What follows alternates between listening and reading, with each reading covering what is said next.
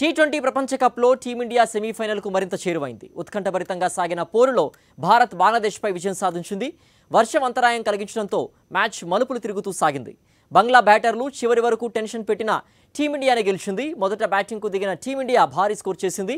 నూట ఎనభై ఐదు పరుగుల టార్గెట్ను బంగ్లాదేశ్ ముందుంచింది. భారత్ అవకాశాలను దెబ్బతీయడమే లక్ష్యంగా ఆడిన బంగ్లాదేశ్ పవర్ ప్లేలో రెచ్చిపోయింది. అయితే వర్షం కారణంగా బంగ్లా టార్గెట్ను నూట యాభై ఒక్క పరుగులుగా నిర్ణయించారు. మ్యాచ్ తిరిగి ఆరంభమైన తర్వాత భారత బౌలర్లు బంగ్లా జోరుకు బ్రేక్ వేశారు.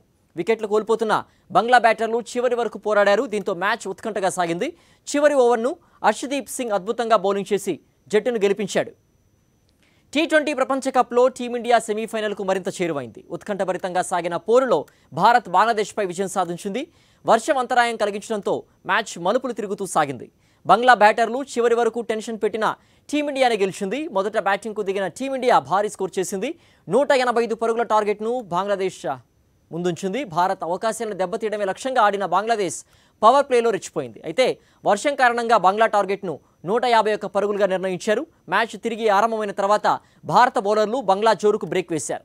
వికెట్లు కోల్పోతున్న బంగ్లా బ్యాటర్లు చివరి వరకు పోరాడారు. దీంతో మ్యాచ్ ఉత్కంఠగా సాగింది. చివరి ఓవర్ను అర్షదీప్ సింగ్ అద్భుతంగా బౌలింగ్ చేసి జట్టును గెలిపించాడు.